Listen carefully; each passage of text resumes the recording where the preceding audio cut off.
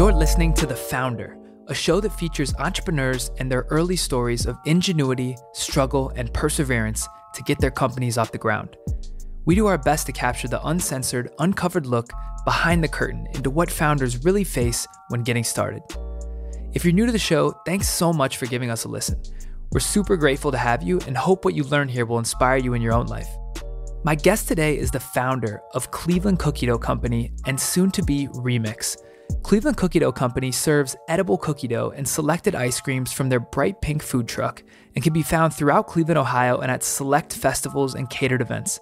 In addition to Cleveland Cookie Dough, this founder is in the middle of launching her second business, Remixx, a brick and mortar ice cream experience that will allow a customer to select from a variety of cereals, chocolates, and candies and blend it with ice cream to create a custom soft serve McFlurry type concoction.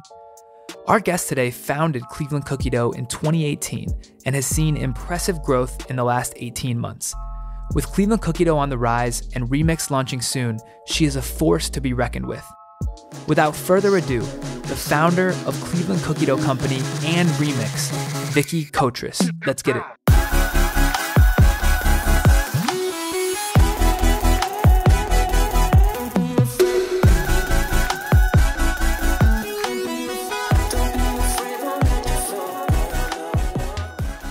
Vicki, welcome to the show. Yeah, thanks for having me. I'm trying to frame this show as the the uncensored, uncovered look behind the curtain into what founders really face when they get started. I think there's there's a lot of I mean me included, there's a lot of young and aspiring entrepreneurs out there that could really benefit from hearing like the straight talk, real experiences, the ups and downs that founders go through.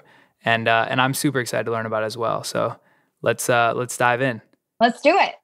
Awesome. All right. So before we go into the business side of it, I kind of want to start with your background, just to just to help contextualize kind of what you did growing up, what you were interested in, um, and, what kind of things you you did as a kid. Yeah, absolutely. Well, I'll point out that nepotism helps with everything in life. And so for your listeners, we're cousins. So we grew up similar, you know, we we grew up in Cleveland. We had really nice upbringings and I think one of the things that set my childhood experience apart is I grew up with a twin. And so I think a lot of things that I did in my life were to differentiate myself from always being in this like, you know, double type scenario. And so I liked um different things. I, I always loved music and I loved performing and um I wasn't much of a sports buff and I'm still not. But um, you know, it was just um a very normal upbringing. Awesome. And would you say were you exposed? I know when, when we were growing up, entrepreneurship wasn't like as sexy or as popular of a thing. Like there are obviously people that own the local businesses, but nothing like as, as kind of almost celebritized as it is today. Were you exposed yeah. to that? Did you ever kind of see people that were entrepreneurs and, and get intrigued?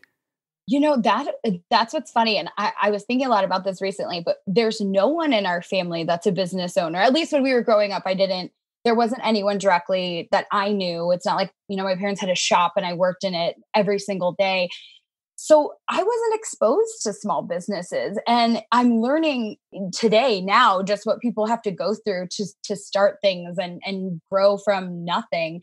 But I, I think you know, not having that exposure then, so much has changed now as an adult. And I truly think I was born in the right era and the right generation because you know you can sit at your computer and you can do work for someone that's 3000 miles away from you and create your own job from sitting in your living room and using technology to do that. And that's what i think has changed is the definition of small businesses or business in general has changed and become so scalable as technology has grown. And that's a really cool thing. Absolutely. Yeah it's, it's never been it's never been easier to get started and it's never been easier to reach customers Exactly. That's awesome. I want to talk about so when you were transitioning from like high school to college, when you went to college, what was your approach? Like what what did you focus on? What did you study? And and I think the reason why it's interesting is as you kind of transitioned from college and then started working up until when you founded Cleveland Cookie Dough, what what were you working on? What were you focused on? What kind of skills were you developing?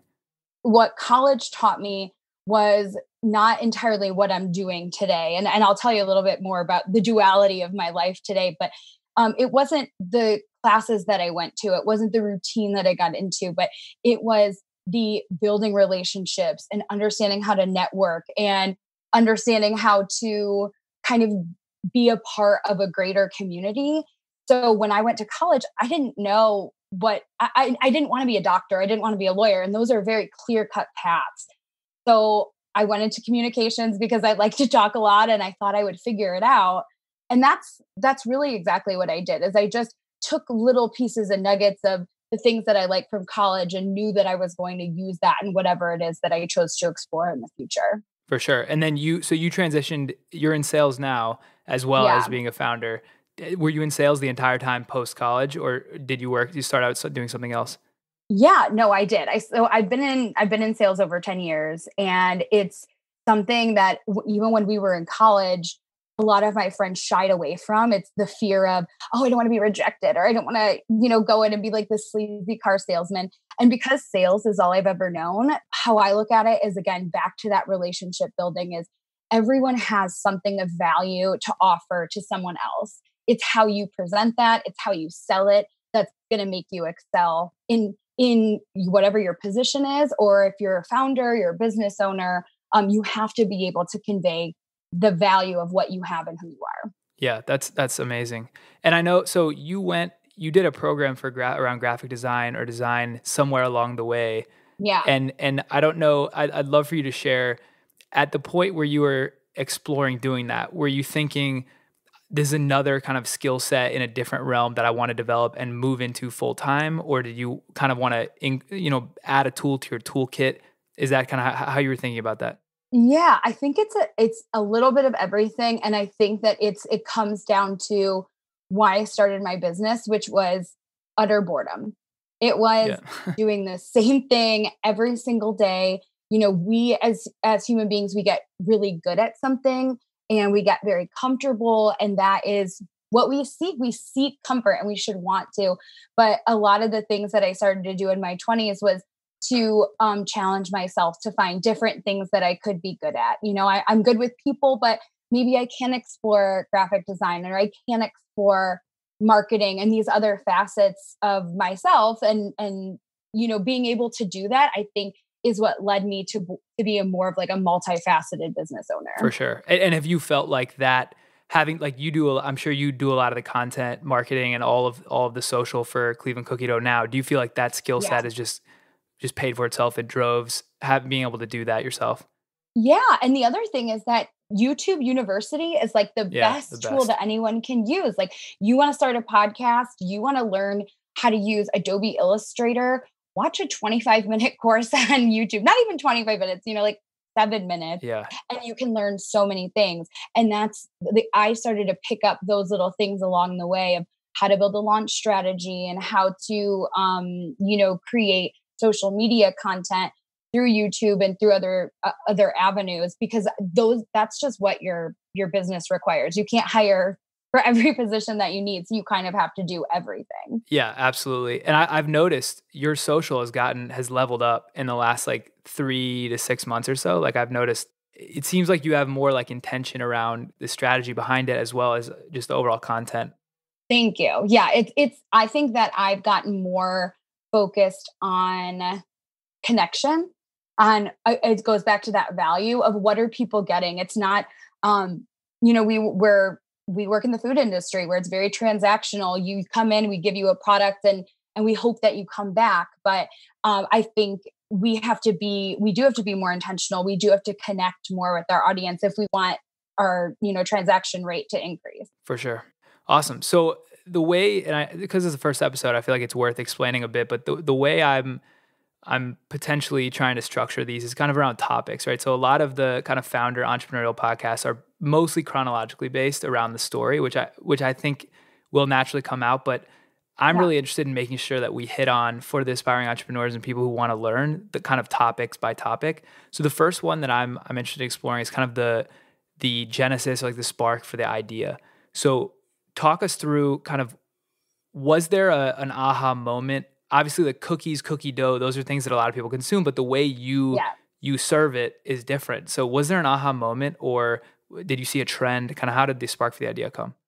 Yeah. Okay. So, well, uh, it it all kind of comes together of like I'm like I'm like swimming along, like I'm bored at my job. I need something else to do. And then there's like these trends that are happening and like everything kind of like came to this perfect it like fusion of ideas and opportunities at the same time. So a couple years ago when I was having this like quarter life crisis of what am I going to do? Like if I have to work for 40 more years, I better make it fun and I'm I there. better I'm there right make now. it interesting, right? I mean, that's a lot of time to be bored. So I thought, well, you know, there I, I have a, a job that I'm really, really good at, but let's explore what a side hustle could be. And I mean, you know just as well as I do, is a side hustle is this really like buzzword term now. Everyone does something. If you're Ubering on the side or you're I don't anything, anything you can do. So I knew I wanted to create something. And at the time, my husband Steve was kind of having the same, he was having the same feelings. And it just was perfect that we had it at the same time, that we were both like, what's next? So um, we went to New York on vacation and we saw there was an edible cookie dough shop, and we thought this was the coolest thing we had ever seen. And and everyone relates to desserts. You know, it's an easy product to sell. There's not a lot that goes into that. And so when we came home and we're honestly like had a couple beers and we're deciding what, what are we going to do? Does our life look like? Um, one of my friends always describes it as how to architect your life. So we were like, how are we going to architect our, our own life? And we're throwing ideas against the wall, like what could we do? And we thought, well, we love festivals, we love concerts. What's always there? Food trucks. We can make it a hobby. We do it on nights and weekends. We have a good time. We're, you know, we're doing already the same things we like. We're just making money. And because we had just seen this cookie dough, you know, concept in New York, we thought doesn't exist in Cleveland. Let's let's just go for it. So we bought a truck we never drove, which I don't recommend to anybody. Uh, we started a business we had knew nothing about, and so it, you know, to talk about this idea of the the genesis of your business, the biggest I guess piece of advice or recommendation I can give is just start before you're ready because you'll never have the answers. If you have a cool idea, you can put some passion behind it, then you have you continue that passion, the rest will fall into place and you'll get better, but you just got to start. And that's exactly what we did. Yeah, absolutely. So, an, a, a question I have on that is around kind of like trend sensing. So, Mm. I've noticed that a lot of VCs and like private equity people always talk about like pattern recognition. And a pattern that I, I see are people kind of chase building businesses around trends. And the length of those trends, like 10, 15 years ago, might have been five, 10 years before they faded out. Now, trends, because of social media and constant gratification, it seems like trends phase in and out so much faster.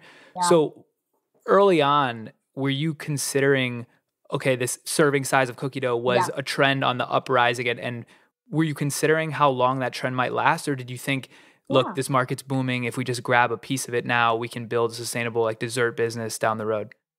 Yeah, I think um, if you look at just the history of how pop culture trends happen, they always start on the coast and then they start moving inward. And so I think what we saw is that um, I don't want to say Cleveland is the last to know cool things, but we're we're not always on you know the the the the front of the line there. And so we went to New York and we noticed nothing was like that in Cleveland, but we saw them in Phoenix, in California, in Miami, and we thought it's gonna that that trend is just gonna start to move inward towards the Midwest. So that was part of it. But Kyle, the funny thing is, is that uh, I didn't care. Two years ago, I didn't care. This this business was not a um, a big picture. How are we going to scale? How are we going to make a million dollars? It was how are we going to end our our professional boredom? How are we going to create something that we feel is bigger than ourselves? And then and then we'll figure it out. Yeah, for sure. So that's what we. I think that that didn't scare me too much in the beginning, but now as we invest more money and invest more time, sure, it it, it, it we are more aware of it. right. Um, but we'll just kind of see what happens. and that's that's such a critical that's such a critical piece is like not being afraid to just take 10 steps when you're on step 1 you don't know what's in front of step 2 or 3 but you just start taking steps. And then before you know it you have a snowball rolling downhill. Yeah, yeah, people get so afraid. and that's kind of another thing in this in this topic that I wanted to talk about is around like self doubt So I feel like a lot of people, and this happens to me too, you come up with ideas, you may the majority of people come with the idea leave it. And then some people take the first couple steps but then they get scared of either what other people will think what happens if i fail even what happens if i succeed like i don't have the infrastructure in place to, to support it.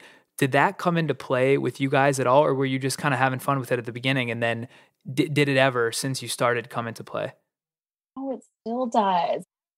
I don't know anybody who doesn't feel afraid of one thing or another and i'm going to share this because this changed my my perspective on on fear of staying the same fear of change fear of everything but i read this book called big magic by okay. elizabeth gilbert a few years ago and she describes she describes fear as like a living entity like it will always be there. It doesn't go away. Like it's all it, like you have to treat it like a friend or like a child that you put to bed. Like, okay, I realize that you're here, but I'm going to live my life and like right. I'm going to do what I want to do. And so that totally changed my perspective because I thought if fear is going to be here anyway, like fuck it, I'm just going to do what I want to do and and I I can't be afraid.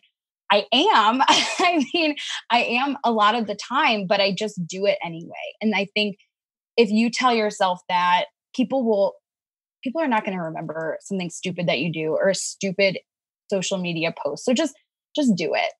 I'm curious to understand like in the process of coming up with the idea and making the first prototype there's kind of two schools of thought that i've experienced. One is you come up with the idea you think it's so great you're afraid someone's going to steal it so you keep it tight only in your like tight circle until you're ready. The other mm-hmm. side is share it with as many people for validation, both early excitement and to like pressure test the concept. Did you start talking to people, friends and family about the idea and like how deep did you go and what at what stage was that at before you kind of started yeah. making the product?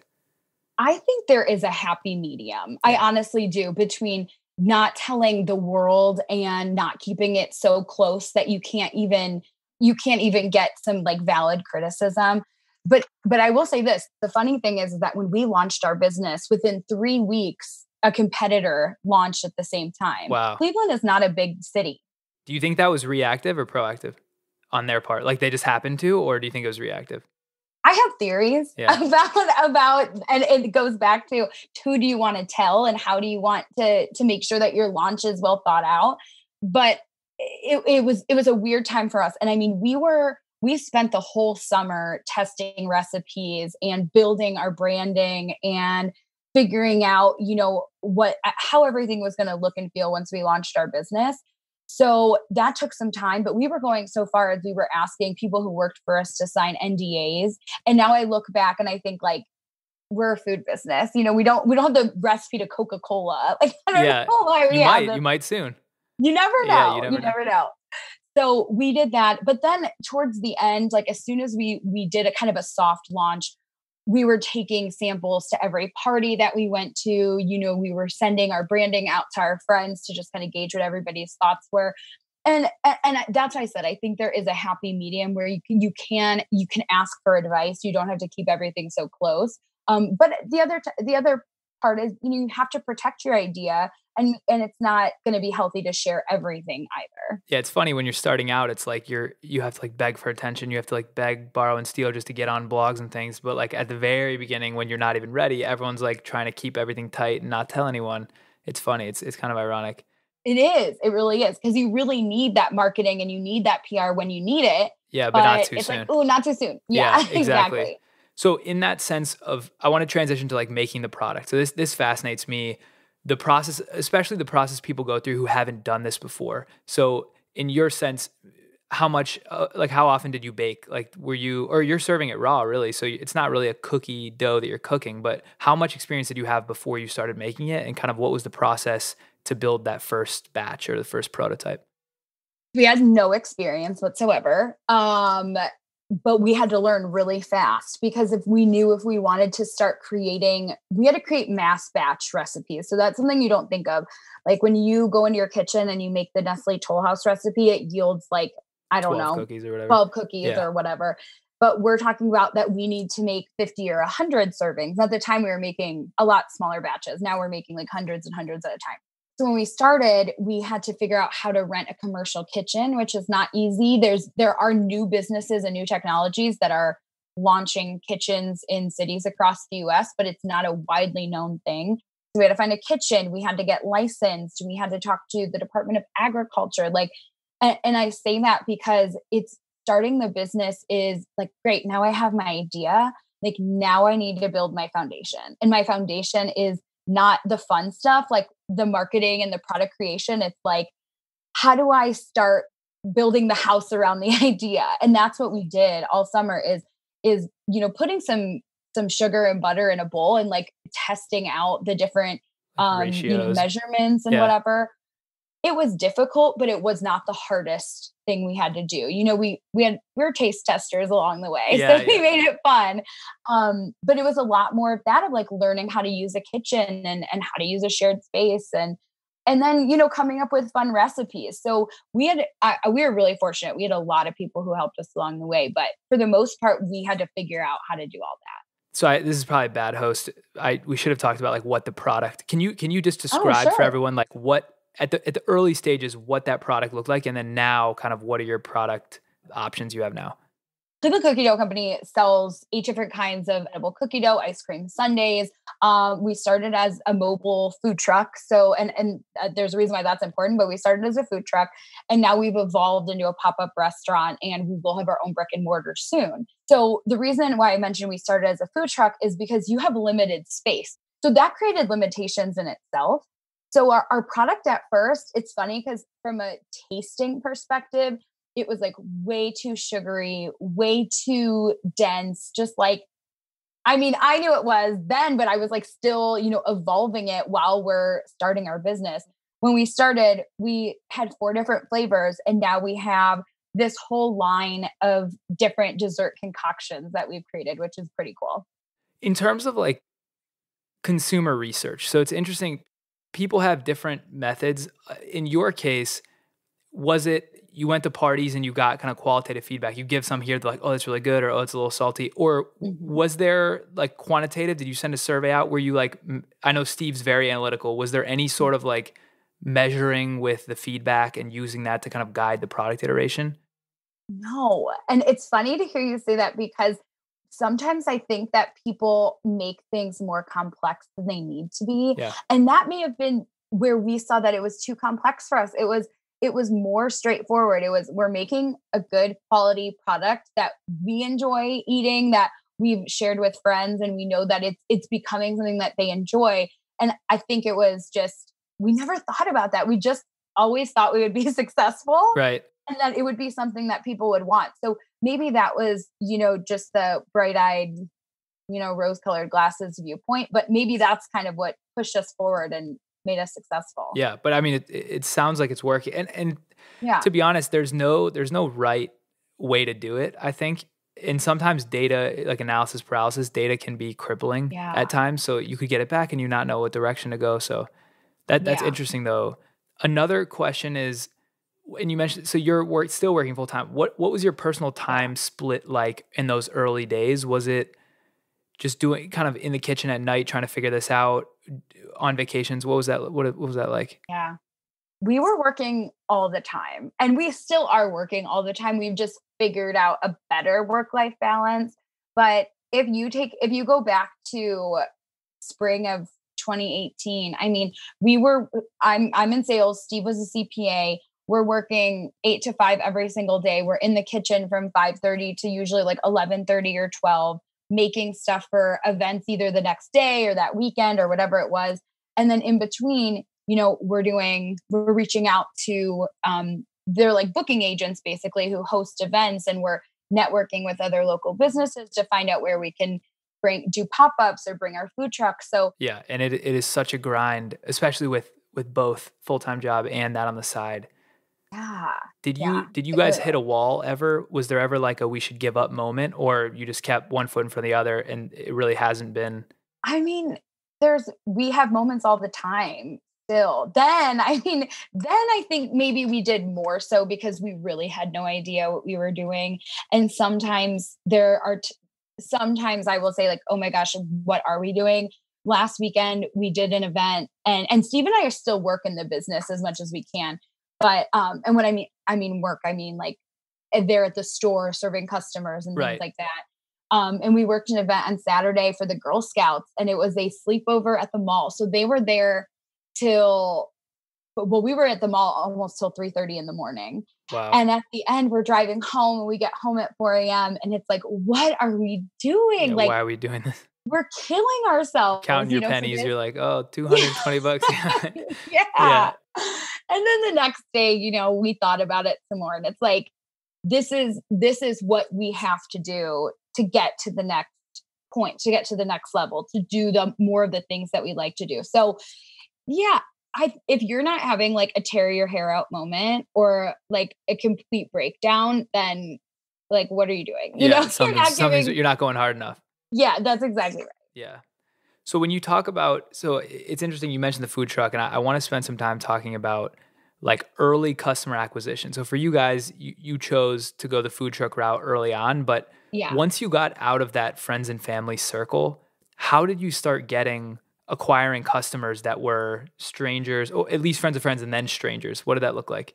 I had two kind of like schools of thought because of when we launched our business. So number one, it really helps that we have a bright pink, you know, billboard that travels down the highway because that is a great way to get a customer. Somebody's like, "What the hell just drove down the highway?" Yeah, yeah. You know, and we would literally get emails as we were driving down the down the street. And it'd be like, I just drove down 71 and I saw your truck and like, what do you do? You know, like Yeah, that's amazing. Wanted to know.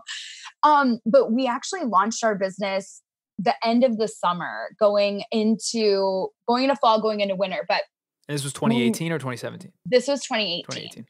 and when we really got going it was the it was the winter time. I mean like when we were planning more events. And so there's not much to do in cleveland in the winter time. I mean nobody is outside. Obviously it's like a tundra. And we were thinking about what could we do that we can engage with people who would be like our perfect target market who might have kids but still like to go out and go to the fun things that we like to do um, and we settled on beer so we targeted breweries in the area and reached out to as many breweries as we could and said, Hey, we're this new business. Like, we think a, a cookie dough and beer pairing would be really cool. You don't get as much customers in the winter in the winter time. You know, let's talk about an event and bring people together for this for this event. And so we did our first one and we sold out in like an hour Yeah, it's and it was and it was insane. It was like a hundred tickets. You know what I mean? To us, that was like, oh my god! Like I can't believe people are going to come to this.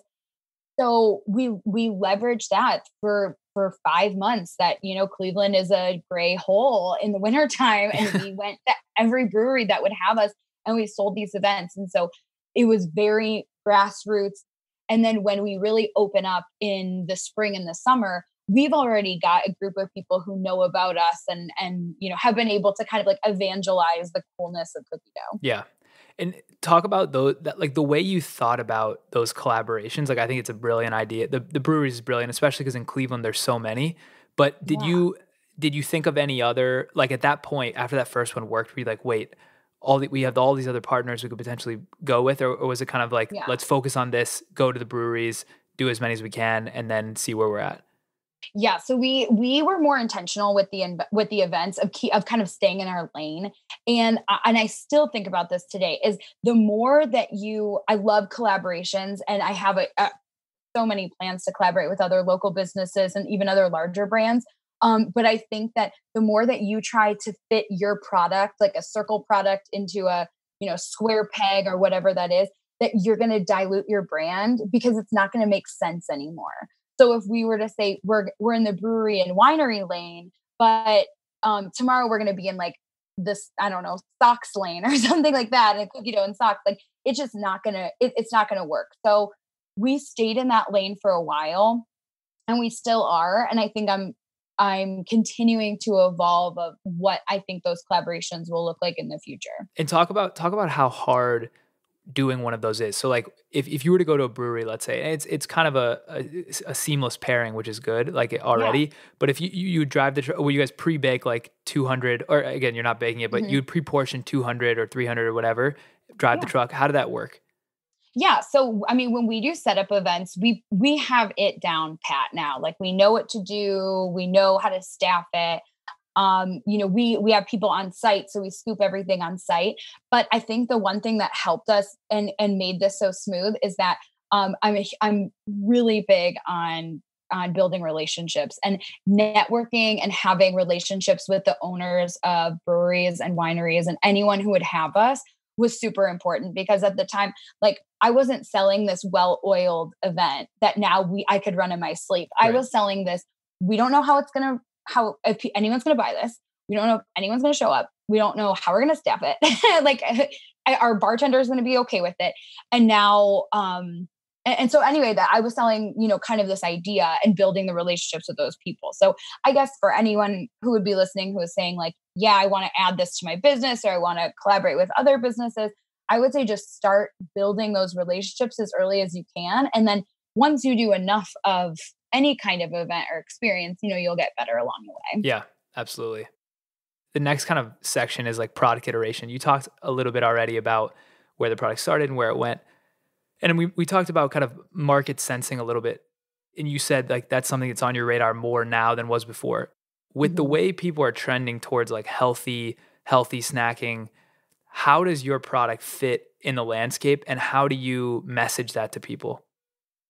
Well, you know, I it doesn't. It doesn't fit in a health trend, right. but I don't but I think that on the opposite side of what the trends are, I think that the biggest trend that is going to affect any brand that's going to affect our brand from small companies to, to large corporations is a is a cultural experience within your company. So, yeah, I, I think health food is always going to be out there. I think anytime you put a diet in front of it or if you put a you know now we have gluten-free vegan whatever you want to say right. that is going to attract someone. I mean, I'm even I, even, you know, prefer some of those things too.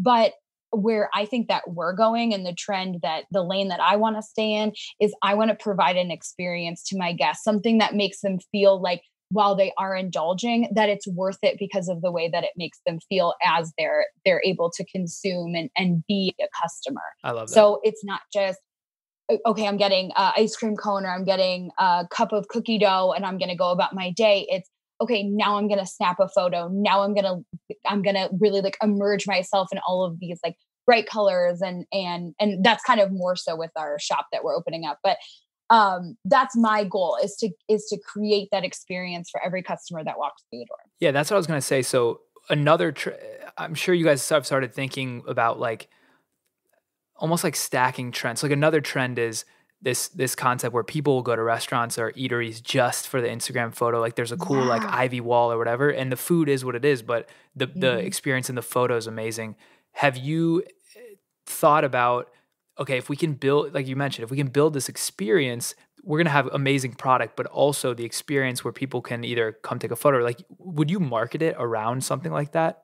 Oh, a, a hundred percent. I I think that the the kind of class that we're in if we're millennials or whatever you want to call us but i mean we grew up with technology and and that's why the bar is set so high of what we're looking for because we're having these shared experiences so having that to integrate into our overall design concept and making sure people are acutely aware of that when they know what they're getting when they come into any of our stores is something that's really important to me got it I want to so I want to talk about the product roadmap a little bit. How are you thinking about like 12, 24 months? Are there going to be new types of products you're offering or are you going to double down in what you're currently doing? Like how are you thinking about that?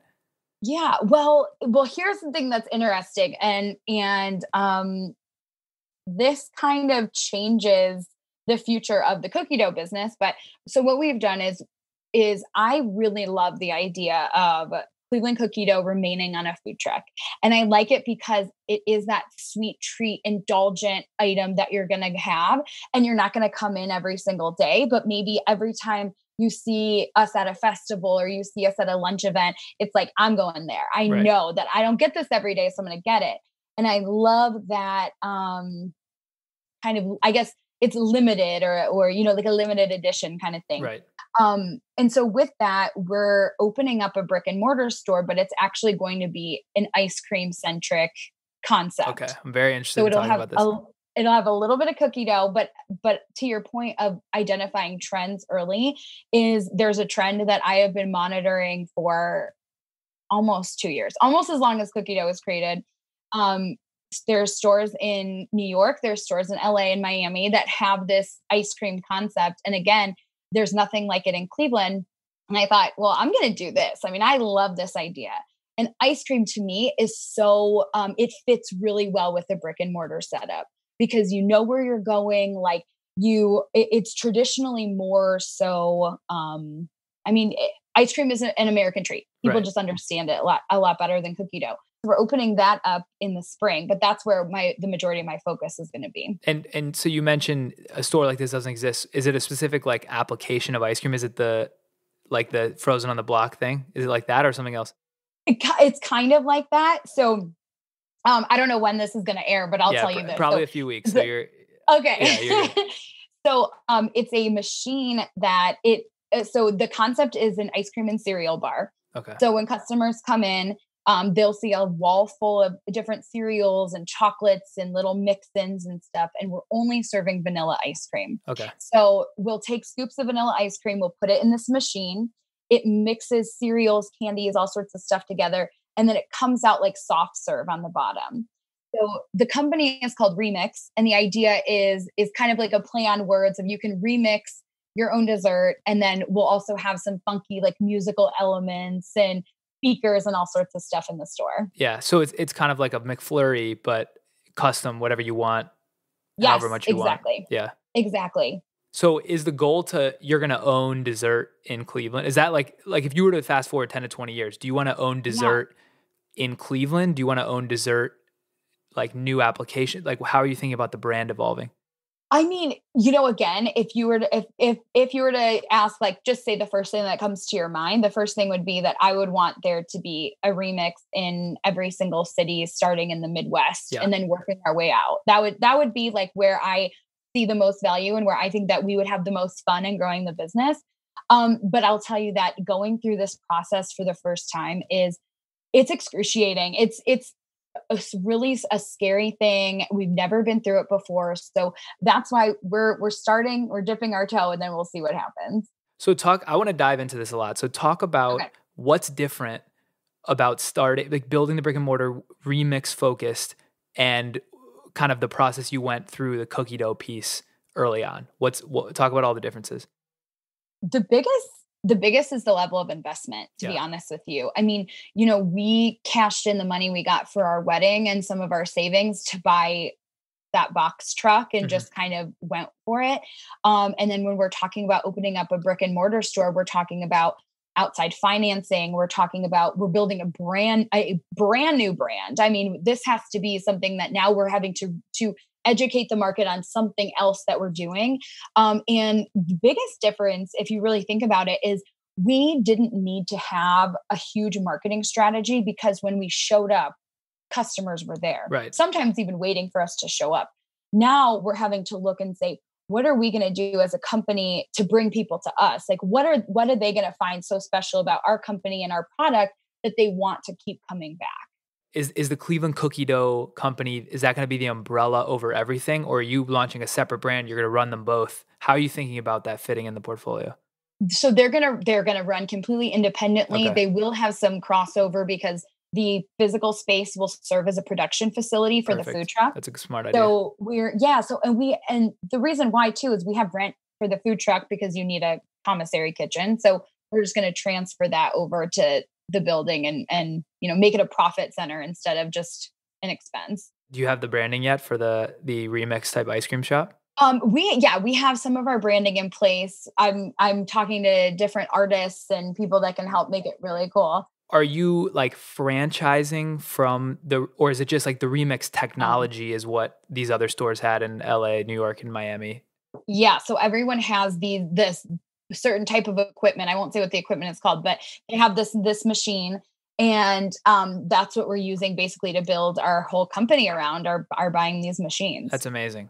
So how are you how are you diversifying resources for between that and and the cookie dough? How are you diversifying human capital resources? Like who's going to focus mm-hmm. on what? Because this is a challenge that I'm sure most entrepreneurs like who are building separate brands or scaling have to face, but you're yeah. facing it very early. So how, how are you thinking about this?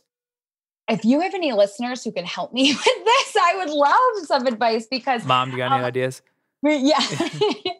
because it's it's there's so many moving parts and i you know what I, i've kind of learned from this whole experience is you can only prepare so much and you only have so much time in a day to think about certain things so i can't give so much thought to okay like what are what are we going to do when we build a team and then who's going to do the trainings and what's the day to day because today my biggest thing is okay well, how am I going to pay the contractor and what are the decisions I have to make for the build out? Right. So it would be so nice. And if you have, and, and as, as I see it, I work in the corporate world, you have a department dedicated to every single one of those decisions. It doesn't have to be one person making them. And unfortunately, we're stuck in, we are those people, you know, we're the janitor and we're the marketing geniuses. Like we have to be everything. Yeah. So um we don't know how all of it is going to work yet, but it's it's going to come together as we progress. You know, like I listen to how I built this a lot, and it's easy oh, to, uh, yeah, it's Guy Raz is amazing at, at hosting I that. I aspire to be like that one day, but uh, it's it, it, it's amazing for those people who have succeeded to look back and just. And that's another reason why I made this podcast. They gloss over yeah. all of the frustration. Like you are in the thick of it right now. Yeah. You're you're you're kind of worried and, and focused on how do I solve today? How do I solve tomorrow? How do I solve next week? Eh, you're not as concerned with what's the 12 to 24 month strategy, which is which is really interesting. I'm I'm curious. Can you talk about and, and you mentioned a little bit in pieces, but what did you see from the cookie dough side that you were like, we have to switch this? Was it opportunistic that you you kept going you kept seeing these remix machines in these popular cities you're like yeah. wait this is even at more ahead of the curve than the cookie dough was or were you was the cookie dough business not scaling as fast and as easy as you thought and you were like we got to diversify no you know that's a good question and and i think that i think cookie dough is is excellent i think we had so much growth this past year that we weren't even expecting it. Like when we were doing our financials along the way, it's like, oh my gosh, you know, we were doing so much better than I thought. But it goes back to your point earlier of when you look at trends, like what is their, what's the life cycle that they have? And you know, I think cookie dough is really fun right now. Do I think that it'll be a dessert in 20 years? I don't know. I mean, my gut tells me no. And but my gut is also telling me that if I if we want to diversify the things that we do and my, me personally if I want to stay interested and I want to stay challenged, then I needed to add something else to to my yeah, to, to my portfolio, to my mix. Yeah. And so I think Remixx was something that I've been thinking about for a while. And when Steve and I were talking about what we were going to do for the brick and mortar, we thought at first we could do them together. We thought, no, like this is a really special idea. It's really cool. It deserves its own lane and own focus. And like I said, I think cookie dough is better suited on the on a truck because of how people consume it and how they understand it. And and I mean, who knows? I could be all wrong, but I mean, this is my gut reaction. That's that's how I feel about it. So is is your plan now don't put any more capital investment into the the cookie like don't buy more trucks or anything for the cookie dough side for now. Like let's keep keep it running. I'm sure you have employees that are running that and that's kind of generating good income yeah. as it is and then you're going to focus all the capital. And uh, we have a section on funding in a second but yeah. I'm interested in that.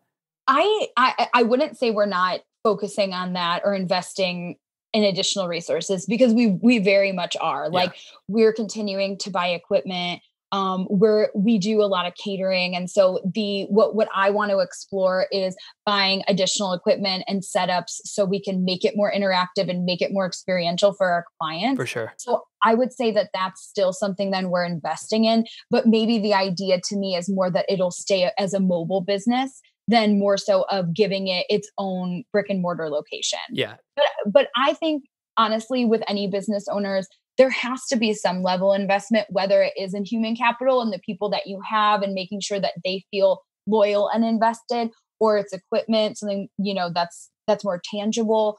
But you know, as a business owner, those are the things that are important to me that we're not just putting something by the wayside, but continuing to make sure that it's as up to par as we want it to be. Yeah. I mean, I, I think it's a great strategy because you're able to get the bang for the buck in the production side for the cookie dough in the in the facility. And at some point, if you want to do a cross collaboration, like just set up a shelving in Remixx with some cookie dough on the side, like not a 50-50, you can. Or you could make the Cleveland cookie dough version where one of the toppings is the cookie dough, right? And the, and yep. you're whipping those around. So that's really interesting. Um, I want to talk about so given that the Remixx is still early on, I'm I'm super fascinated about like how you're thinking about that, but also on the cookie dough side, I want to talk about like tactically the way you've marketed. So like you uh-huh. with the graphic design background, I'm sure you're kind of front and center with what is the marketing strategy, what are like the tactical Instagram ads or Facebook ads. A lot of these podcasts don't go into the depths of what do you actually do or how do you actually measure the ROI. Like can you talk about yeah. that a little bit? How do you think about that? Yeah, well, you know, that's another thing. And that goes back to you can't be great at everything in your business, but you should know enough to be dangerous about a lot, you know? And so um, I'm not, I, I didn't study marketing. I will say that I don't fully even understand marketing statistics and how to use them, but I know enough to be dangerous. Right. And I, I think that's what everyone needs to hear is you don't need like a fancy ass Instagram grid to grow a usership and you don't need to like have a color scheme in your grid to make sure people are engaging with you. You just have to be really consistent with what you put out and you have to create a real brand. So like like for example, you know, I was talking about Coca-Cola earlier, like you're not going to see people on the production lines and like waving and saying hi, but as a small business owner um, people want to see you they want to see um, your they want to hear your story. They want to they want to feel like they're close to you and like anyone can do this because honestly anyone can. It just yeah. takes a lot of work. And so that's part of the marketing strategy is be real be yourself and that's what we we try to do is eh, um you know make it as visually appealing as we can but also show ourselves throughout our different social media channels. I have a friend who i just met with who was like you know, and she studied marketing and she's like, you have got to spend money to make money. Like, if you're not paying at least $50 a week in Instagram and Facebook ads as a small business owner, like, you're missing out. And even $50, like, what is that? That's nothing, right. you know? So you should be able to equate that to something that's either going to help you build your user base or it's going to help you convert those into customers, which is should be the same. Right. Um, yeah, and we, you know, the last thing related to marketing that I think we have done really well is we've seen a huge return on um on different freebies and giveaways that we have. So we're we haven't done this probably since late of last year, but we used to do a lot of giveaways. Um, we gave away an entire truck event to somebody for them and 30 of their friends. And that's just stuff that I would like. You know, if I if I'm a consumer and somebody's raffling off my favorite item or a food truck to come to my house and like serve all my friends, that's really freaking cool. So I would say never underestimate the power of giving away something fun because people are going to gravitate to that. Yeah, that's the thing is you just got to simple it down. Like you just simple mm. it way down. Like what what is the thing that I would want or what is the yeah. thing that my like siblings or younger family members are telling me I want and then it's really interesting you say that about the Instagram ads because I think social marketing, digital marketing is all about experimentation, right? If you're yeah. you throw 50 bucks, you can easily test a concept and if it works, it's so easy to just pour more money on that exact same idea and just watch the the return come in. Yeah. And my friend had told me, she's like, I will run one for a day. And if at the end of the day I notice that it got a really good return rate, she's like, I'll put even more money into it. Yeah. And see what happens. And it depends what the content is. You know, I mean, you want to make sure that it's it's not just like, oh, look what we did today, but it's a sales driven message. Like, look what we did, contact me for this or that or whatever. Um, and even in we're in the food business, but catering is where we make a lot of our money. So we have to like continuously engage people who are in positions where they could book us for anything from a birthday to uh you know employee appreciation day.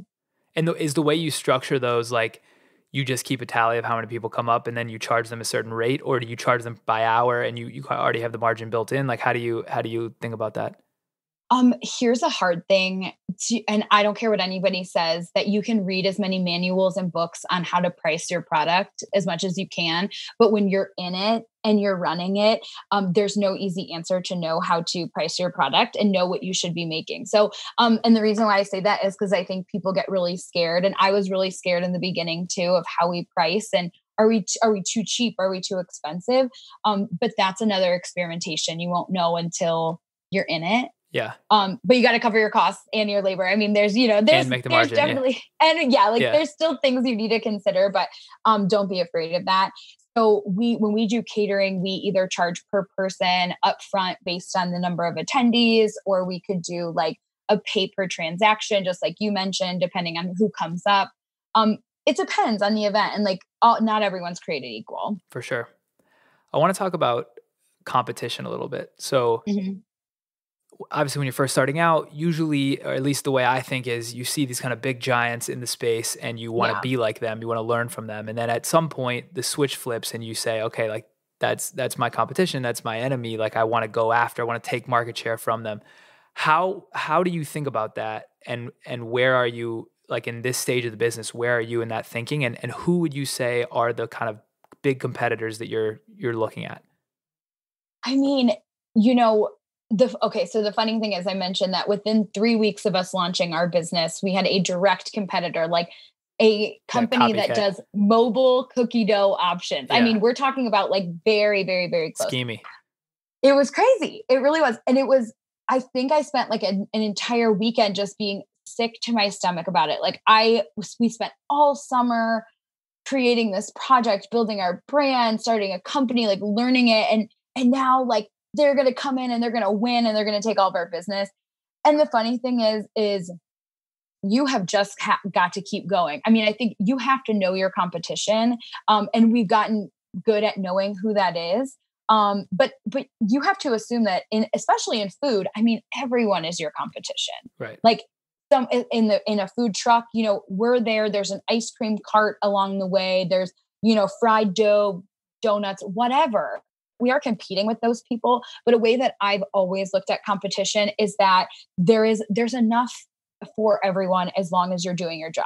Like we could have cried in a corner and been like we're going to lose and we would have but as long as we keep going we keep booking events we keep you know uh, keep up with marketing we keep engaging with our customers like we're always going to win. So uh, i guess i would say to anybody who is like thinking about the whole landscape is consider everyone a competitor. Consider that you have to keep doing a really, really good job to stay ahead of the curve.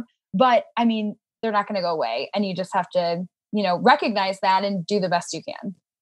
So do you do you look at like the the Malleys, which is for people who aren't from Ohio, that's like a huge like chocolate empire company in Ohio. Do you look at and like Mitchell's in Cleveland is like amazing ice cream, and now you're kind of going to the ice cream space with Remixx do you go in there and like try to take little things like not steal but like get inspired by the way like oh the I, I, like the way they're like pumping scent in here or like how the, the, checkout flow works or like where they put the tip jar like things do you do you find yourself yeah. like going into those places and just absorbing all that yeah i mean so for like locally yes and we did some we were in a local pitch competition and so we did a lot of research for that and they they kind of said that same thing of you better go into these stores and start counting customers and seeing where things are set up. But, you know, before we invested as much as we did in Remixx, we started visiting ice cream stores all across the country to see how they were run and what worked for them and and noticed you know some of them were were different than others and just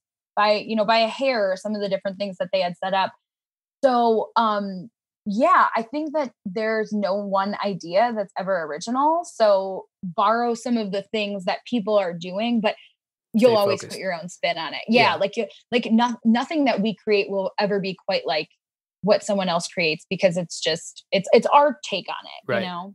That's really interesting like thinking about the the competitive like ripple. Like you could you could think at the beginning you could think your competitors are like mobile cookie dough delivery. Then like a little wider is like cookie dough. Then a little wider is like any type of cookie. Then it's like any type of dessert. Then it's like any type of indulgence. And then it's anything you put in your mouth, right? Like you're always that's why the food space is so difficult because there's only so many calories people eat per day.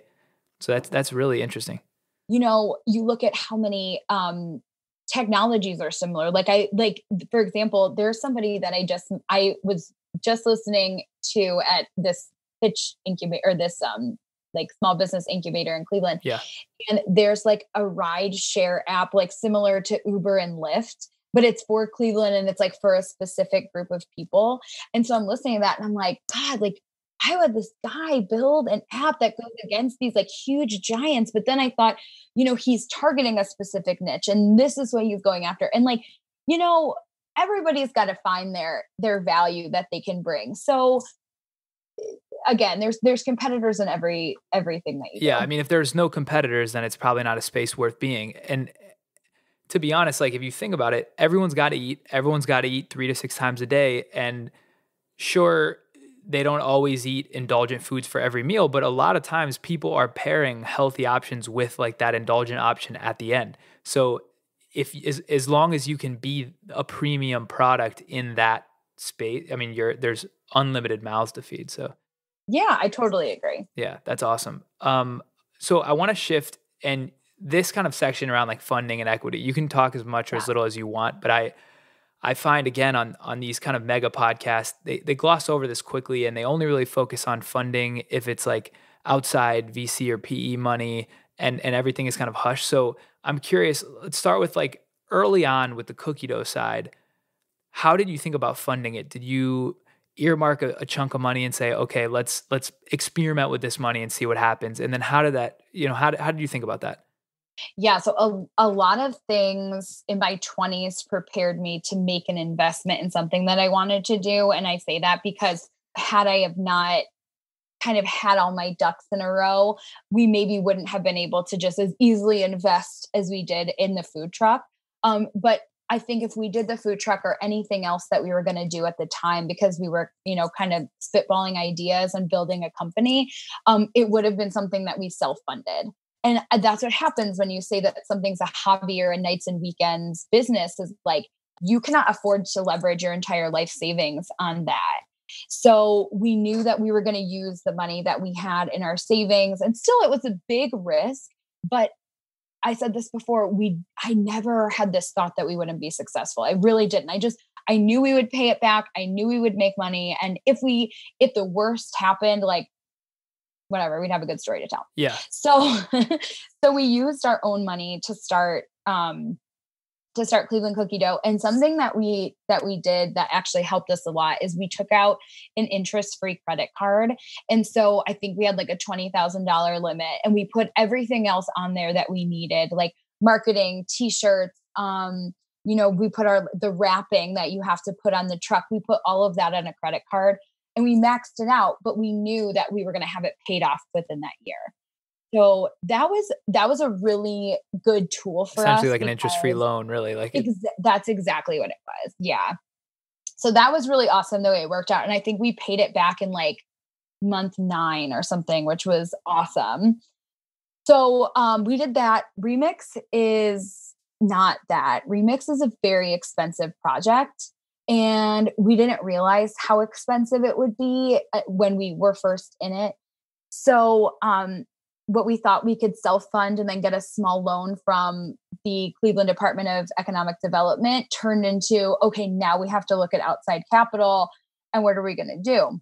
So, um, my the like anecdote that I think, and I've told a bunch of people this story is like when I graduated college, no one asked me, or when I started college, no one asked me like, "What's your degree? Like, do you think you'll be profitable? Like, how long do you think it'll take you to be profitable? When are you going to pay this back?" Not one creditor like asked me that question, but they gave me twenty thousand dollars every year. yeah. So I find that to be so odd because when we started looking for financing, we went to big banks and they turned us down. And and for us, we have we have fantastic credit. Um, on paper, we look really really good, and we are getting denied. And it's for a number of reasons, like you know we're not in business three years or um, X, Y, and Z. Like there's a whole bunch of kind of things that Right. that came up from it. But it was it, it was kind of crazy to me that these things were happening. And it, it kind of led me to believe that if we who are in the high percentage of people who are in their 30s and like make a lot of money and have money in the bank are getting denied think about somebody who has a really good idea who maybe isn't from our same socioeconomic background like they're going to have an extremely yeah it's impossible for them to raise money it's impossible yeah um and the same thing like a lot of articles that i read are like oh well you can have a friends and family round like who do you know that has like fifty thousand dollars lying around. Yeah, you have to get lucky with an uncle of a of a friend that like you know, and that rarely happens. Yeah. So what did you guys end up doing? Did, did you take? Did you sell equity? Uh, no, no, no. Okay. So, so that's definitely like not something that table. we're willing to do. Um, I would, I've talked to enough business owners to know that do not give away any equity, especially as you're you're so small. Wait until you really want to and, until you want to grow so much that that's the only option right. and that's kind of how i look at it um, but we were able to take advantage of a lot of programs given to us by the city so economic development departments are incredible cleveland worked with us um, uh, they worked with us on it the neighborhood economic development team worked with us on it we've met with a lot of different small uh, loan organizations that are typically nonprofits that have money from either the SBA or from the city that they have to use and invest in certain projects. Right, which is great. It's incredible. How much did having the track record, at least with the first two years of the cookie dough business, help with that versus if if someone just came off the street with the yeah. Remixx idea with no experience, is it harder for them or are those loans still up for grabs? Yeah. So it's I think that it's it would be possible, but my advice would be know your numbers, back, forth, sideways, up and down. Yeah. I am not a numbers person. And I would always recommend to anybody have a, either a partner that is good with finance or bring in somebody or have a really good CPA. Because I think if Steve and I didn't have as detailed financial projections that had built-in seasonality and um, you know customer acquisition and all of these different things that it would have been really difficult for us to convey what our future expectations are and how we would pay back this money. Um, so I think that it's possible, anything's possible, but I would tell anybody you have to know your numbers. So with the truck, did you you did you buy that outright in cash or mm-hmm. you, okay? So that was that was awesome that you didn't have any debt from that, and then so now this yeah. is the first kind of like debt financing you're taking on. Yeah, we've never had any debt until now and it's it's really it's it's a really scary thing. I mean, even today we went and signed our papers and the money is ours and that's great. It, it feels really yeah, good when you get yeah, that infusion cleared. of cash. Yeah. um, it feels really scary when you have to pay, you know, more than your mortgage payment for these loans. And, and that's kind of what we're going to be going through. I'm curious into, so like the, the truck, how fast did the truck pay itself back? And then how, how are you project, how fast are you projecting being able to like pay the loan back? Or is it more, you know you're going to have to fund with debt for a while and this is more just yeah. like let's grow the brand, brand as fast as possible so with cookie dough we it's funny because we paid off our debt within that nine month period that we owed for our interest free credit card. Um, but we invested what we made from Cleveland Cookie Dough into Remixx. For sure, which is great. I want to shift to like hiring and, and human capital and, and yeah. all the employees you guys have because I think that's so understated and undervalued. I, I personally oh, think yeah. the most important thing you can do as a founder is get just baller people and people who are passionate about your vision, who you inspire, yeah. who are like really good at whatever competency they're working on. So, can you talk about like what are you going to look for in? I mean, you may have to hire like a you know manager across the whole Remixx store, right? Because yeah. you're going to take off the apron and and you know focus on more of like the managerial tasks. Someone's going to have to run that day to day. So what are you going to look for? What type of skills? What type of uh, attributes? I think someone that can kind of be a chameleon in many different ways. I think someone that can communicate with many different um, people and behaviors and how they you know react in, in leading a team i think that's really important um, and i think somebody that is is willing to invest their time with us as we're a growing business. And i say that because we don't have a infrastructure like when you go to work at a mcdonald's. Mcdonald's is very um, you know they this is what you do this is the system in place these are the rules. If you break the rules this is what happens. We're kind of in the ground floor we can create all of those but we need someone there who invests in that idea and who will help us create those things. So absolutely someone who's self-motivated a self-starter someone who wants to take ownership of what their you know duties and and and um, you know tasks are as being that manager so that's what we'll look for but that evolves every day right, as right. we change and as you know the the job title really changes something i heard the other day was uh when when people hire specifically for like the attributes on a like you you write the job description and yeah. anyone who hires specifically for that like it's it's kind of tough because they just made up that job description like you know like that yeah. usually you're just hiring you want to hire someone who's like self-motivated who's just off the page like just a smart person overall yeah. hard worker right? But it's tough to match like criteria. Oh i know or like when you read a job description it's like um must be trustworthy like must be dependable it's like duh. Yeah yeah exactly yeah like that of course that's what i need like i'm not hiring for that that's like that's you know the offset of just being a good leader or like being a good team member. Yeah.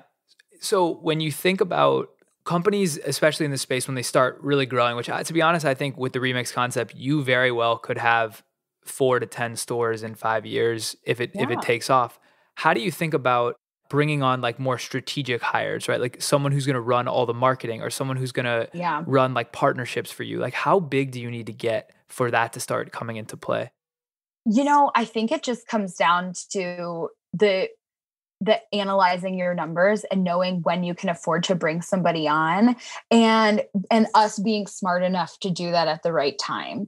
Because when we look at what our projected growth is for this year next year the year after and you know so on and so forth it's saying well you know the business can only take on take in so much money that's just sitting there. I mean we have to use it for ways that we can expand and grow. Right. So i think that it's if we had enough money right now, we would have already had a social media person. We would have had, um, you know, a territory manager to to go into. Basically, we'll have three running locations. You know, um, but we but we don't. So I think it's just a matter of reevaluating the numbers after you know every year twice a year and seeing when we could afford to bring those people on and that's that's probably one of the main reasons why people bring on VC or PE money is yeah. they take that money and then they either invest in more brick and mortar or they just pour, you know, you you double up from like 10 to 20 people or 5 to 10 people. How do you think about so I know equity is super precious and I yeah. think there's been more education recently around a lot of founders that got burned, gave it away too soon, but building an employee pool at a certain time where like you create like vested employees that are have that variable incentive. How do you think about that? I, I know probably still too like young in the in the growth to have that, but like how are you thinking about that? You know, I on a very basic level and without even understanding or knowing what would be all possible to build employee incentive programs, I think that I want to build a team that feels like what they're doing matters and that they can see it in their wallet. And so, you know, we've talked a lot about, and this is aside from like building future like strategic plans and things but we talked a lot about how can we incentivize people to want to come to work every day to want to just do better than the status quo.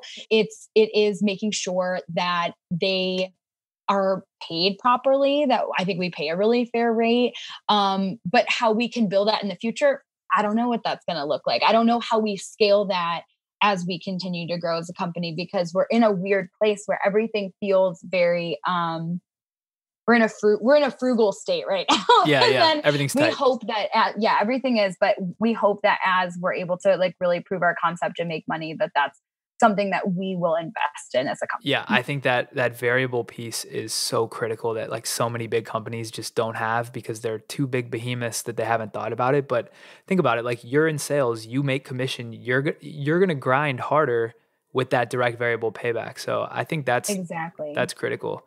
So I want to go into kind of like mentorship uh, slash like advisory, and I know yeah.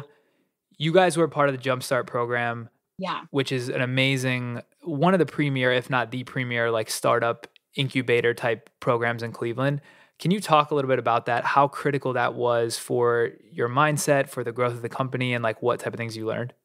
The knowledge was endless. That there were so many things that we could take and use in our own business so I'll just kind of give you the the elevator spiel of the program, yeah, but it's perfect. a it's a 12 week long course where you spend 2 hours in class, you have homework and then you come back the next week and you go over different strategies and it could be anything of like marketing it could we did like a talent strategy one um, we did understanding your sales pitch and then it all culminated at the end of the 12 weeks to this live 20 minute pitch competition where um, we basically shared what our our you know financial projections were introduced our company to a panel of judges and then after that 20 minutes then they deliberated and decided you know who ultimately won this competition.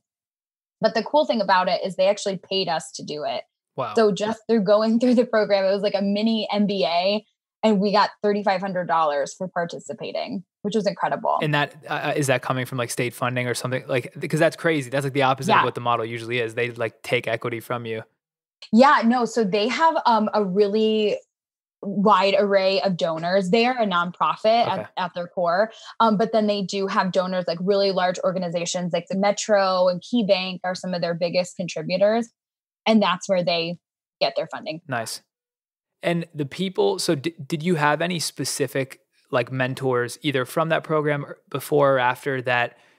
you know direct one to one either invested deep in you because they had functional expertise in the food space or just like a yeah. connection? Who who are those people and, and what did they offer? Yeah, so we had two specific mentors throughout the entire program, and they were the ones who met with us. Um, we met with them separately outside of our two hour allotment, and they were really challenged us to one create our financials because believe it or not, we had been in business almost a year and a half, and we'd never ever built anything, any kind of projection, and so that was a big part of what the classes taught us and it also taught accountability. I mean, we as business owners had we you can't talk to your friends and you can't talk to your family. And I think that it's a really isolating place to be that you have to create business mentors or else you're going to be really frustrated and lost. Yeah. And that's how I felt is nobody understands our business and you know, you can't really go to your friends and say, "Oh, you know, I want to invest in a $10,000 piece of equipment and I'm talking about $100,000 this and that." It's it, it doesn't yeah, it's not the right it's not the right scale. Like, yeah, they just, it, you're not getting that feedback that you need. So having them was really helpful. And we continue to build those relationships. We have a meeting with another advisor on Thursday and we attend workshops that they have. But that's another thing that I would recommend to anyone who's starting is not only looking at economic development, but research any kind of business accelerators in your area, anywhere from like a rural town to um, New York or to LA is going to have these types of companies that can help you grow, or at the very least, listen to your idea and say, okay, make your roadmap. Here's, you know, here's what you need to do. And, and to that point, something that when we were doing Talio and, and a lot of companies that I've explored have done is kind of built an advisory board, which mm-hmm. can or cannot have like advisory shares. Like I would, I'm sure it's best not to give them equity in your best interest, yes. but having like a go-to almost like a board of directors before you need one do you have that? And and who is on it if you if you've thought about it? We don't have uh, we don't have a formal board. There are people that we go to if we have questions. We i mean right now because steve and i are the co-owners i mean we I'm, i have 51% he's a 49% owner that every all of the ideas are really coming off of us. But we'll use our resources and our outside mentorship when we need it. I think that having a board of directors or even something that's a little bit more formal, it would be something that's part of, you know, the future plans, but right now I think it's more important to keep the decision making close because too many hands in the cookie jar, it, yeah, it just it doesn't work out well. So solicit advice when you need it, but also, you know, listen to your gut, talk with your partner, make sure it's a good fit. Is the is the 5149 is that was that just in order to break a stalemate from a decision like you need it to be staggered like that or?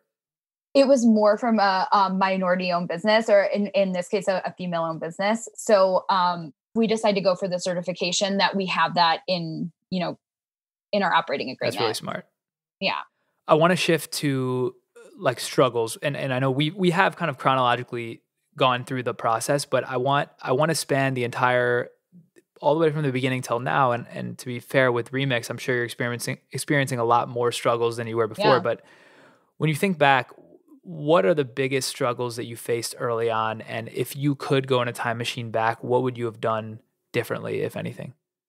I think there's a lot of struggles. I think every day is different. I, it, I guess you know, the pain is only as bad as you make it because some days feel really hard and then you wake up and you remember that you know it's it was just one bad day or it was one bad customer or one bad idea or whatever and and you kind of shake it off. I think one of the biggest struggles is understanding that there's a finite amount of time that you can spend on so many things. So you know you don't have if if you're having events all weekend long and your goal is to make money and grow your business you can't go out and go to concerts with your friends or go party or you know do the things that i like to do and i say liked because my fun meter has changed so much yeah. you know my and i think that's always a struggle is like wanting to be a normal person and then realizing that what you're doing is it's just different. It's just a different lifestyle and like that's a choice. So i think the struggle in allocating time and being around your friends and family is hard. I think there's always a struggle in self-doubt that we talked about earlier is am i gonna fail and if i do like am i risking the future of my life and my relationship and my marriage? And steve and i talk about that a lot and try to balance it out with you know the fear of doing something and the fear of not doing something. And we do come back to that idea is like this could be a really stupid idea and we might spend you know the next 5 years paying back loans for a business we don't own which we hope doesn't happen. Right. But if we do like we're going to do it. We're going to do the best job that we possibly can and try our hardest to come out on top and make this a really fun experience in our life in in, in that vein are there is there anything you wish you knew that you know now that you wish you knew, right? So things that come to mind would be like the commercial kitchen piece. You wish you knew how to like make that happen quicker. Like obviously faster cycle times, but anything come to mind that you wish you knew? Maybe what I have wished that I knew 2 years ago is that like this is really fucking hard. you know, like like running a business, having a full-time job, being a friend, being a sister and a daughter and and maintaining a life is really hard. And if I think if I knew it then, I don't think I would have started a business. But I also think that like this is this is the new normal. This is my life now. And I'm not going back like to right. go fit into that box anymore. So w- one thing that could probably alleviate that pressure a bit is is you not having to have a full-time job as well. Have have you thought yeah. about like the timing on that? Is it just going to be like business demands once the business is making enough money you're you're gone or yeah well that's ever evolving too because i've been it i've been doing my same job for nine years it's been great to me like i'm i'm loyal to it um, i have an amazing boss i really love my team so it would be a really big thing to walk away from and right now i have a nice balance and i think it comes down to we'll have to if i do stay in my job we have to hire someone who's going to be able to take over my role and i just stay doing what i'm doing. But i think the you know the ultimate answer is yes i i i will want to run my company or multiple companies full time i just um, there's a few more things that need to lock into place before that's even a realm of a possibility when when you think about like tactically like what are your biggest questions right now like what are what are your biggest challenges? Obviously, the Remixx project is is bringing on all sorts of things, but yeah. like if you were to make a list of like three things that are like at the top of your mind of like, all right, I got to figure this out at some point yeah. in the next few months. What does that look like? Ooh, okay. Biggest one: building a team. Okay. So, how are we going to hire? What kind of um, incentive programs are we going to put in place for our employees? There's a lot that has to do with the physical space. So, just like the curating of experiences. So um, right now, I'm working with getting an installation artist to do some work at the shop. So it's putting all of those like elements together of design that I is a big focus. Yep. Um, and then one of the biggest things is that we are just about to go into our peak season for food trucks. So we're booking a ton of things now, and it's without having a clear vision into what that looks like in May or June. It's having to trust that we're going to be okay and we're going to be staffed appropriately. So that's a big that's a big question mark. Is like booking all of these events and then making sure that we are able to fulfill them is a big deal. I want to talk about scale. And we talked about a little bit, but yeah. If you were to sit here with a uh, crystal ball and yeah. five, ten years from now, like what is what is the ideal scenario? What do you want the brand, the portfolio of companies to look like? It's hard to say being at the are at the um, precipice of opening up Remixx i think we we change like we change what our our overall goal is Um, but I think it would be to have multiple locations. How many, I don't know. But we, Steve and I, have thought about this idea of having many different income streams. And so if it's developing other businesses along the way or finding partnerships or other way other places that we can invest our money in to help other businesses grow i think that's what our future looks like and it goes back to architecting our own life and our own future is we want to create a cool product and create a cool company that curates these experiences for any customers that walk through our door. But we want to have businesses that that kind of allow us to live a, a flexible lifestyle that we can um, travel when we want to or we can um, live multiple places. So we always say to each other like we just have to grind and work as hard as we can in our 30s so that our life post 30s will look how we want it to but i know that we're driven to have a very diverse portfolio to use our money for good in the world so i want to talk to sacrifices a little bit and you mentioned it already just right there i think when you start, a, especially if you're already working your day job, but yeah. even without that, if you're starting a company, there is so much pressure, so much, so many things that need to happen to to work and grind. Talk a little bit about that sacrifice. You mentioned it, but I, I, I want people to to be able to relate and and really hear like what you went through in terms of you know not not hanging out with your friends as much, try uh, having to deprioritize time with your family, etc.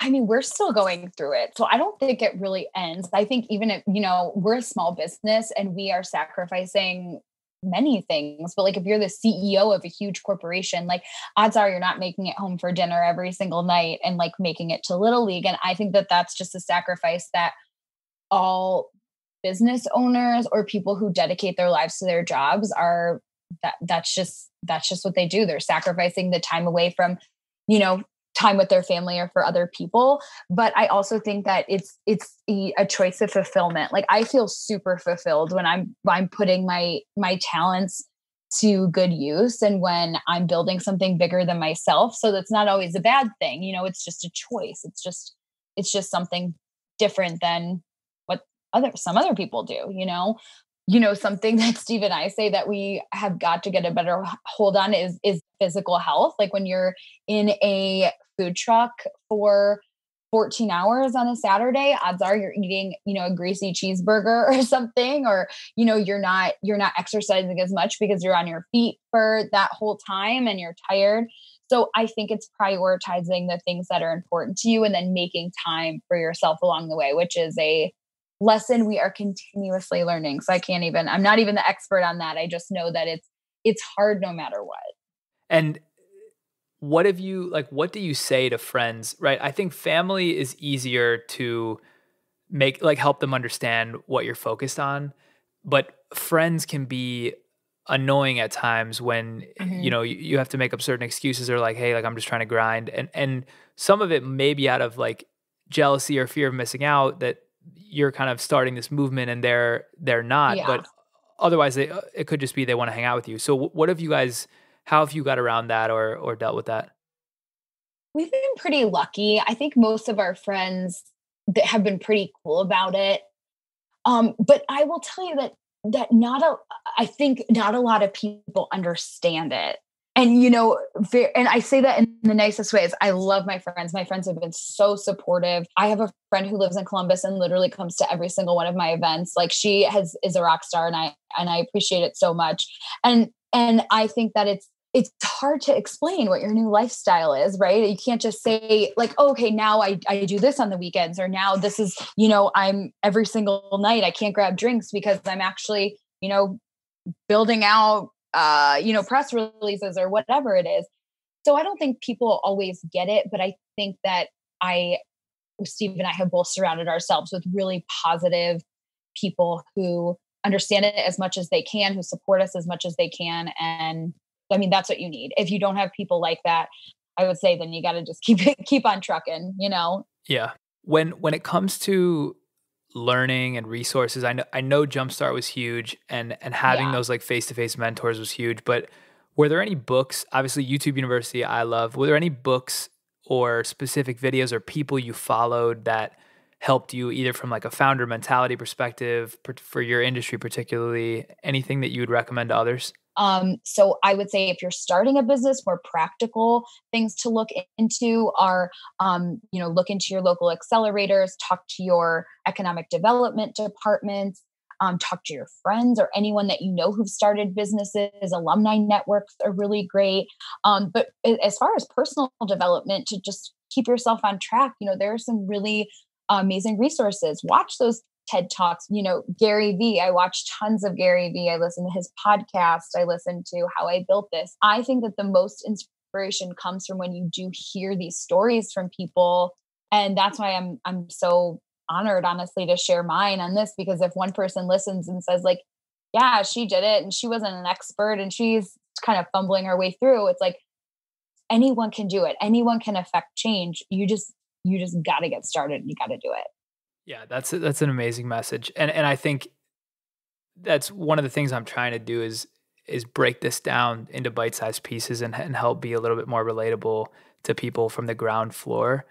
Um, to, I'm interested to that quarter life crisis point because I've experienced it. I'm kind of in the thick of it now. I know a lot of my friends are as well what would you say to people who are going through that? They're millennials questioning their their purpose, right? What they're doing day to day isn't inspiring. What what would you say you found in your kind of exploration? I would say if you're feeling any little twitch of doubt that you're not doing what you need to do, it is it's you know, and we don't have to get at a spiritual level here, but it is your soul crying out, telling you that what you're doing is is not enough, that you are you're worth so much more, you can do so much more, and you you got to figure out what that is.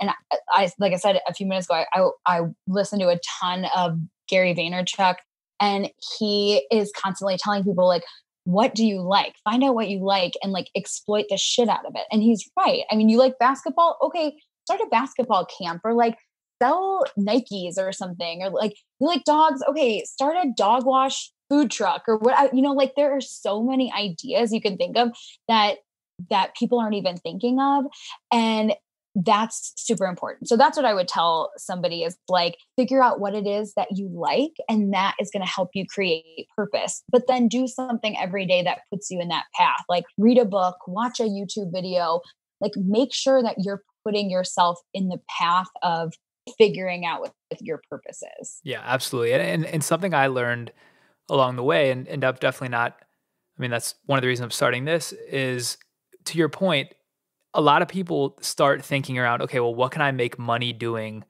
that will, mm. will allow me to stop working my job, which I hate. And that's what I use to make money. Right. But I think a, another way to look at it would be just what do I like doing to your point and just start doing that and don't worry about the money because if any if the last 5 to 10 years has shown anything it's that you can monetize any skill or hobby or passion all you have to do is talk about it or you want work on it but I think wallowing in like sadness I mean a, separate point that mm-hmm. I honestly would love your take on is I think a lot of the anxiety and depression people are feeling is brought on by their own mentality. I think people are causing themselves to get sick when they're just sitting there thinking these spirals of, I don't like what I'm doing. I don't know what I'm going to do, right? Those types of things. So I think you said it great is, is focus on what you're interested in and just start doing more of that regardless of the money. And then it'll eventually figure itself out. Yeah, I could not agree more. And I, I wholeheartedly agree on the idea that people make themselves sick over it. And it's like no one is going to show up tomorrow and tell you what to do. The chances of you winning the lottery are slim to none. So it's like, again, you got to work for 40 years. Let's figure out what it is. What do like what do you like to do? I have kind of come up with this mantra of like don't quit your daydream, but don't quit your day job. Like you need to have money. You need to explore what your passions are if you're not in, you're not already in your passion. So once you find out what that is, it's going to be a lot easier for you to take a risk and make that jump into what it is you actually love to do or whatever your soul's purpose is because you've had that paycheck because now you're using your paycheck to save and now on your off hours you're able to work nights and weekends doing the thing that you really want to do yeah and if, if people can take anything from I mean, they'll take so much from this, I hope. But one thing specifically is you were grinding and that paid for the food truck and you use mm-hmm. that to lever up and then take the profits flip them into Remixx which again i've said this a bunch of times i think is going to be an uber success so if there's one thing that and not to get too preachy but if there's one thing people can do is try to reframe your mind around your day job and think instead of god i hate this think every single second every single hour day that i spend doing this i'm just stacking up money to then be able to accelerate the zero to one path into starting what I want to start. That's like super critical. Because if you have no money, you can still start, but it'll take you so much longer to go the first few steps because you have to kind of like grow as you go. Yeah. Yeah.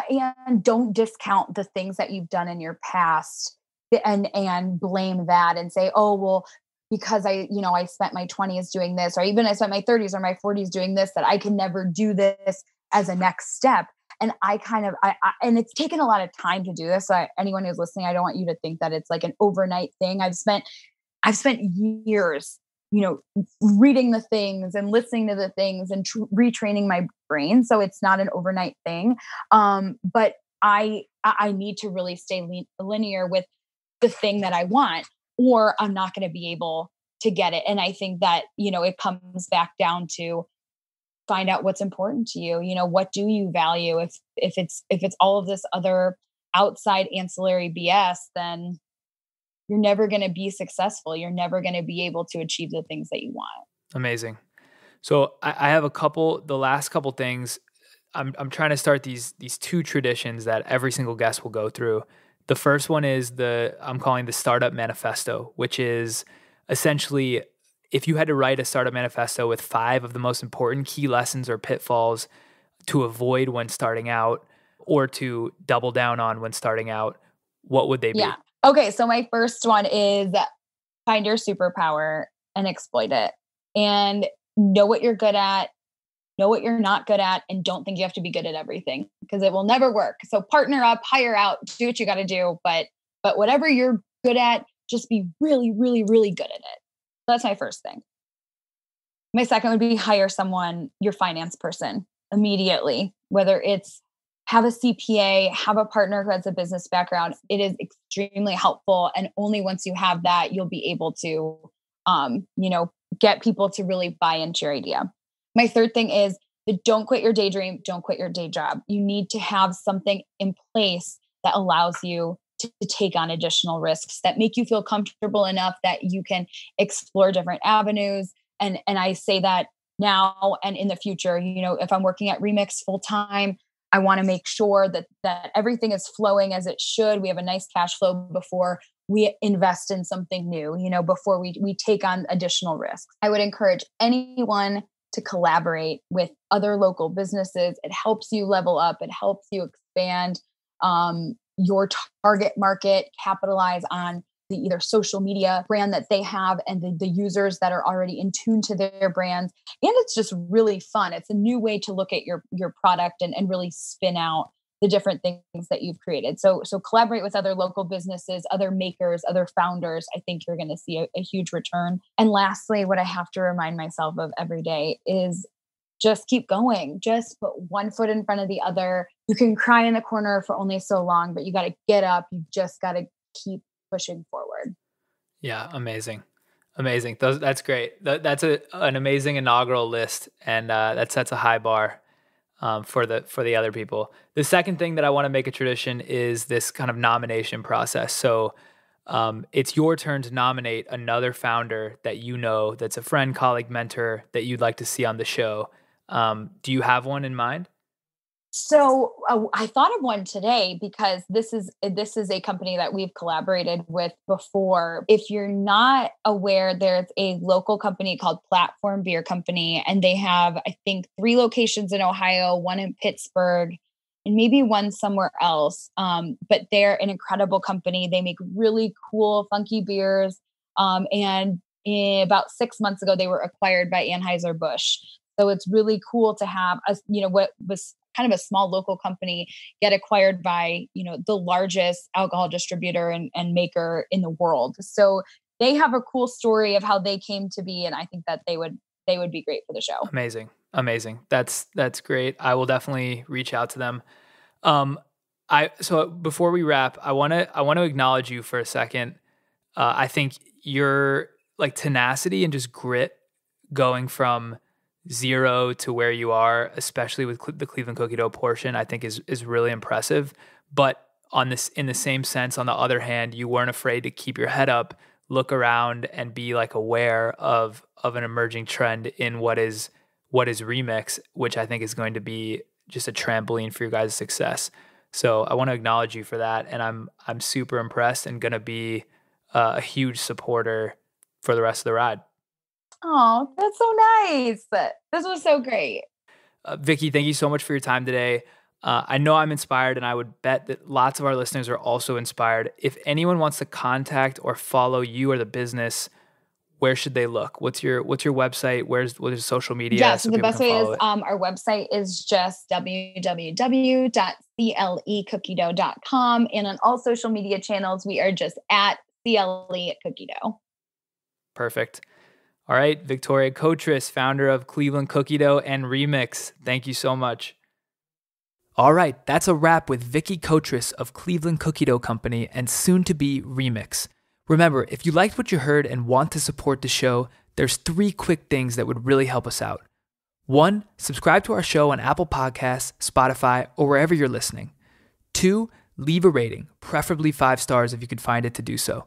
And three, leave a detailed review on why the show inspired you. I hope you enjoyed that episode and are looking forward to the next one. Until then, I'm Kallaway, and this is The Founder.